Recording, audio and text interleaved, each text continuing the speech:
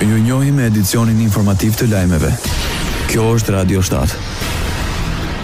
Shpërndahet Këshilli Komunal i Tetovës, qeveria e vendosi shpërbërjen e tij pasi deri më 31 mars nuk ka arritur të miratojë llogarinë përfundimtare buxhetore. Paralajmërimi për të është dhënë në datën 31 mars. Ky vendim është parashikuar në nenin 75 të Ligjit mbi Vetëqeverisjen Lokale. Rajoni. Kush është kundër? Kush abstenon? Për këtë projektligj votuan 74 deputetë, morën pjesë në votim, 68 kanë votuar për projektligjin, por ka pasur 6 abstenime, asnjë votë nuk ka qenë kundër këtij projektligji. Kuvendi i Kosovës miraton në parim ligjin për pagën minimale, pro tij votuan 68 deputetë, kundër nuk ishte dhe abstenuan 6.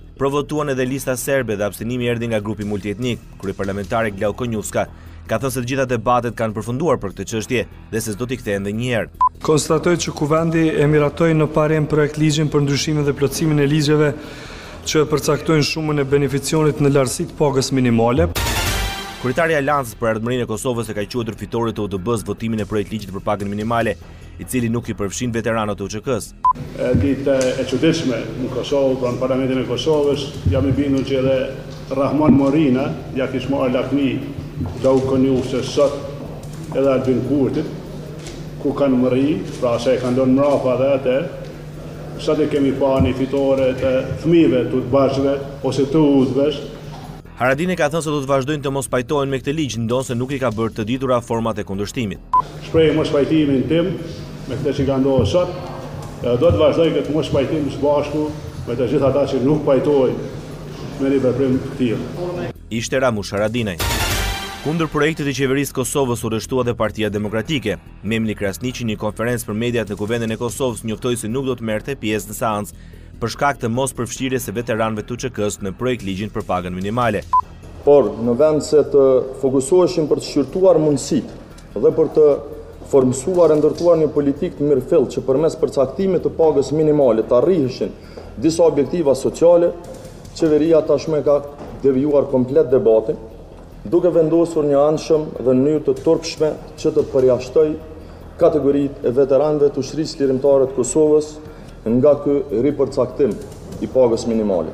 Sipas Krasniqit, mënjanimi i veteranëve nga Qeveria Kurti dhe Lëvizja Vetëvendosje është turp i madh, pjesë e të cilit Partia Demokratike e Kosovës nuk do të bëhet kurrë dhe do ta kundërshtojë fuqishëm. Shteti ynë e pavarësia jonë e ka në themel luftën për liri të këtyre burrave e grave që kanë rrezikuar jetën dhe kanë lënë pjesë të trupit të tyre në vijat e frontit.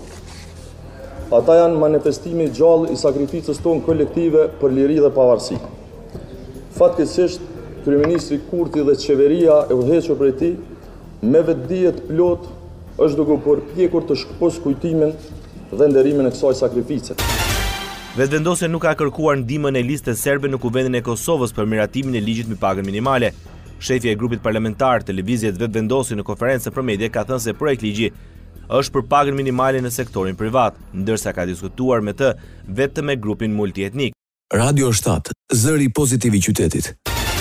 Kryeministri Edi Rama dhe homologu i tij në Malin e Zi, Dritan Abazoviç, mbërritën në kryeqytetin e Ukrainës në Kiev që në orët e para të mëngjesit, kur pritet të takohen me presidentin Volodymyr Zelensky. Rama së bashku me kryeministrin e Malit të Zi, Dritan Abazoviç, Udhëtuan mbi dymbëdhjetë orë me tren nga qyteti Pshemishit, Poloni, nga ku u bë dhe nisja për në Ukrainë. Dyfishim të gjobave për bizneset e mëdha që nuk deklarojnë rrogën minimale. Ky është paralajmërimi që vjen nga qeveria Rama.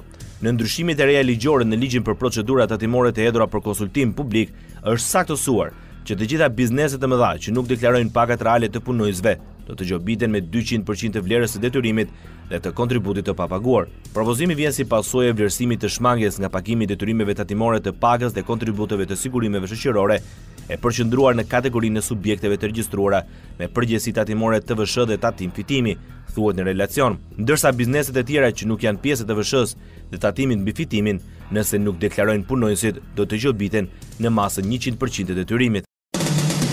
Ndoqët lajmet shkurt në Radio 7, zëri pozitiv i qytetit.